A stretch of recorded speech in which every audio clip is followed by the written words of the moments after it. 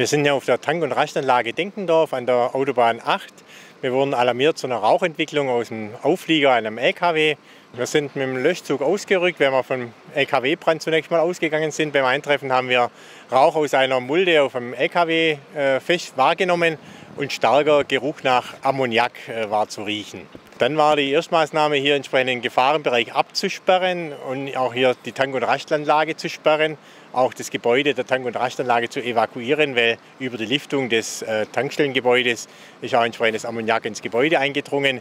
Insofern haben wir da auch vorsorglich das Gebäude geräumt und äh, abgesperrt. Dann haben wir einen Fachberater Chemie hinzugezogen mit einer Messgruppe von der Feuerwehr Ostfiltern, um entsprechende Messungen äh, durchzuführen und auch den Stoff zu verifizieren, um was es sich genau handelt und wie wir weiter vorgehen können. Es war eine etwas schwierige Abstimmung, weil nicht klar war, was genau geladen war. Es handelt sich wohl um Aluminiumschlacke, die versetzt sich mit Ammoniak und das hat wohl mit Wasser entsprechend reagiert. Das Wasser ist wie auch immer in den Container eingedrungen äh, und hat dann entsprechend reagiert und entspre entsprechendes Ammoniak freigesetzt und auch eine thermische Reaktion ausgelöst. Also der Container ist auch recht warm geworden, knapp 100 Grad warm.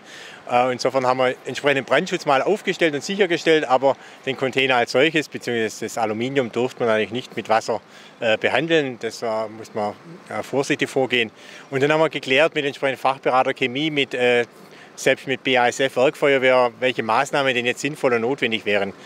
Schlussendlich haben wir uns jetzt dafür entschieden, den Auflieger abzusatteln, zu öffnen und das Ding durchreagieren zu lassen und haben jetzt die Hoffnung und die berechtigte Begründung auch von dem Fachberater Chemie, der gesagt hat, das reagiert jetzt recht zügig durch und damit äh, ist dann die Reaktion beendet und wir können den Container dann wieder aufladen und in ein Quarantäneblatt stellen. Da sind wir gerade in Gesprächen mit einer Fachfirma, einer Entsorgungsfirma, wo wir dann den Container hinverbringen können und da dann einen gesicherten Bereich abstellen können, sodass dann für uns der Einsatz dann auch beendet werden kann. Die Feuerwehr Denkendorf ist mit 25 Mann und vier Fahrzeugen hier vor Ort. Die Feuerwehr Ostfiltern mit dem Messzug, mit der Messgruppe hier vor Ort, die sind zehn Personen. Und dann sind noch zwei Streifenwagen der Polizei hier vor Ort. Ja, das ist schon immer so mit Gefahrstoffen immer ein bisschen problematisch und gerade hier aber auf der Tank- und Rastanlage doch, dann doch nicht so selten.